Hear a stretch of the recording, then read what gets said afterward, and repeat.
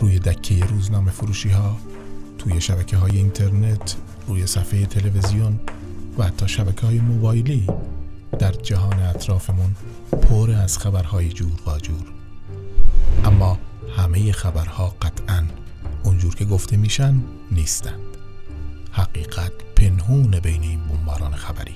باید گشت و پیداش کرد. آقای روشن هستم از شبکه نور. می‌خوام با کند و توی خبرها حقیقت رو روشن کنم براتون.